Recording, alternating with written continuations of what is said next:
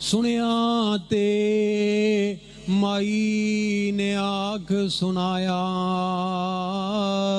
ਵੇ ਆਮਨ ਵਾਲਿਓ ਵਿੱਚ ਤੁਹਾਡੇ ਕੋਈ ਹੈ ਅਬਦੁੱਲਾ ਆਇਆ। ਅਬਦੁੱਲਾ ਕਹਿੰਦਾ ਹੈ, ਮਾਂ ਜੀ ਮੈਂ ਅਬਦੁੱਲ ਖੜਕ ਪੈਰਾਂ ਦਾ ਸੁਣਿਆ ਤੇ ਮਾਈ ਨੇ ਆਖ ਸੁਨਾਇਆ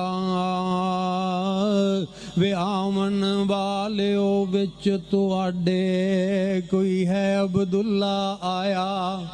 ਅਬਦੁੱਲਾ ਕਹਿੰਦਾ, ਮਾਂ ਜੀ, ਮੈਂ ਅਬਦੁੱਲਾ। ਅੱਛਾ, ਤੇ ਨਾਲ ਕੌਣ ਹੈ ਮੇਰੇ ਸਾਥੀ? ਆ ਜਾਓ ਅੰਦਰ। ਅੰਦਰ ਲੈ ਜਾ ਕੇ ਉਹਨਾਂ ਨੂੰ ਖਾਣਾ ਵੀ ਖਵਾਇਆ, ਕੱਪੜੇ ਵੀ ਪਵਾ ਦਿੱਤੇ, ਜੁੱਤੀਆਂ ਵੀ ਪਵਾ ਦਿੱਤੀਆਂ। ਜਦੋਂ ਹੁਣ ਜਾਣ ਲੱਗੇ ਨੇ, ਮਾਂ ਜੀ, ਹੁਣ ਸਾਨੂੰ ਇਜਾਜ਼ਤ ਹੈ ਹਾਂ ਪੁੱਤਰ, ਹੁਣ ਤੁਸੀਂ ਜਾ ਸਕਦੇ ਹੋ। ਤੇ ਜਾਣ ਲੱਗਿਆ ਅਬਦੁੱਲਾ ਨੇ ਪੁੱਛਿਆ, ਕਿਆ ਅਬਦੁੱਲਾ ਕਿਸ ਦੱਸਿਆ ਤੈਨੂੰ? ਸਾਡਾ ਨਾਮ ਹੈ ਮਾਈ। ਕਿਆ ਅਬਦੁੱਲਾ, ਕਿਸ ਦੱਸਿਆ ਤੈਨੂੰ? ਮੇਰਾ ਨਾਮ ਹੈ ਮਾਈ। ਮਾਈ, ਕਿਆ ਜਿਸ ਰੱਬ ਸੱਚੇ ਨਾਲ ਤੂੰ ਕਰ ਲਈਏ ਸੁਲਾ ਸਫ਼ਾਈ।